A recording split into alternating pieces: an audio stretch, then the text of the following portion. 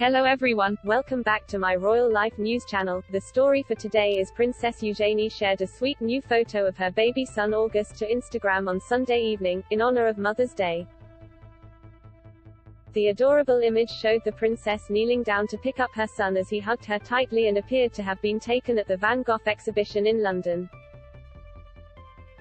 Eugenie also posted a portrait of her mother, Sarah Ferguson, who is a doting mum and granny. The royal captioned the images, Happy Mother's Day to every mother out there. Her followers were clearly delighted by the photos, and rushed to the comments section to share their approval. Ah, this so sweet, commented one, while another added, Hope you've been spoilt rotten today Eugenie. A third chimed in, Happy Mother's Day, while others simply posted rows of heart emojis.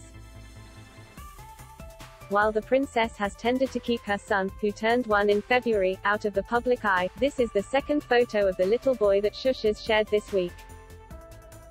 Princess Eugenie shared the sweet mother-son moment to Instagram. The 32-year-old made an exception for two special events, posting the earlier picture on Wednesday in honor of her own birthday. Eugenie celebrated with a day out with her son and her husband, Jack Brooksbank. Her Instagram showed a beautiful image of the young family as they walked hand in hand through a park. The snap showed the setting sun, which created the perfect backdrop as it shone through the trees. Eugenie and Jack welcomed their son in February 2021. Eugenie rocked a gorgeous floral dress and white trainers while her husband kept things casual yet stylish in a green hooded jumper, a pair of jeans and black Converse trainers.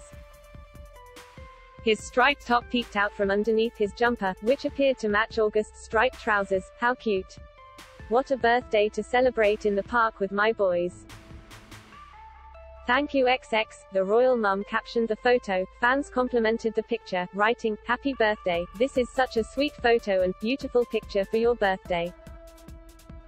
God bless you and your family. That is all for today news. Please make sure to leave your comment and subscribe the channel below for more news update.